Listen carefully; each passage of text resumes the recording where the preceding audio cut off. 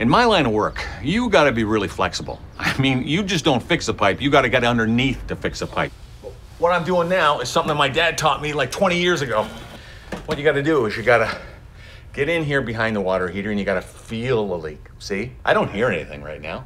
I hear nothing, but I, I feel a leak. Yep. Okay, so I'm gonna fix, this. probably start up here in one of these valves. So hand me the pipe wrench. Okay, which one's the pipe wrench? You got the pipe wrench. you got a pipe wrench in one hand and you got a chocolate bar in the other. Why do you have the chocolate bar? I should have a place to put it down.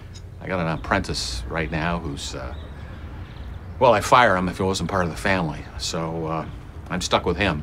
If you're gonna do this business someday, you gotta get into places like this. Okay. Here, you know what? This is easy. This is really easy. You try it. Okay. I'm almost there.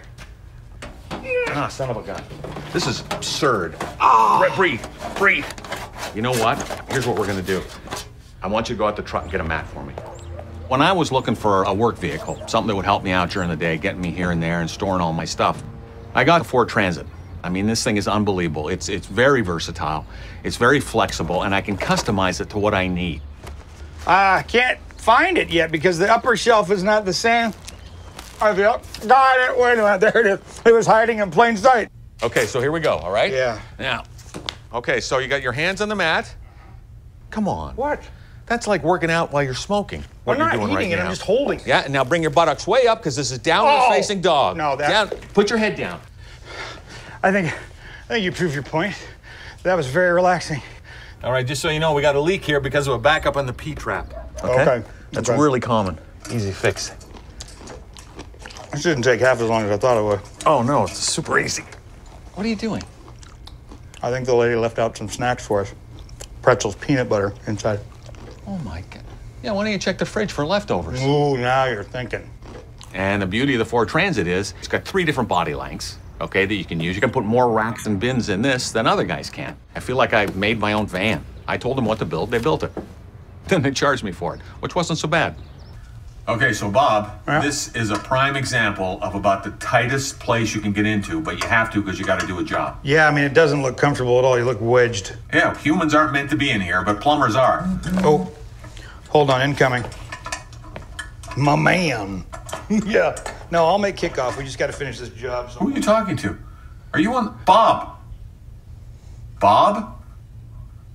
And I'm kind of a medium guy, but I know some tall plumbers, which is odd because they get under sinks and they can't get out. I've had guys call me up and say, You got to come over to so and so's house because I'm under here and I'm, I'm stuck. I said, Look, you can get the high roofs on this. Three different kind of roofs. He loves it, so he got one.